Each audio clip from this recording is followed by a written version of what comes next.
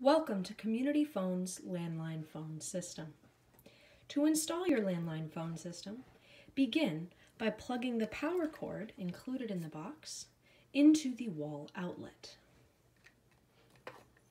Then, plug the power cord into the landline base, into the hole labeled power.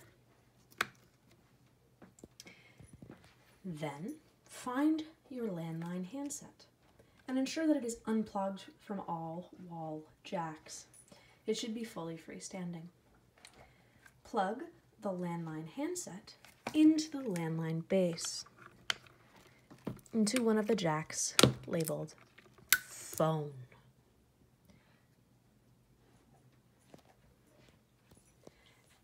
Slowly, your landline base should turn on but ensure that the power on and off is switched to the on.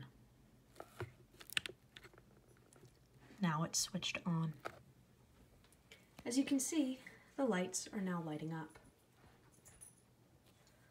For our customers who have purchased a new number with Community Phone, the new number is already installed inside of the base.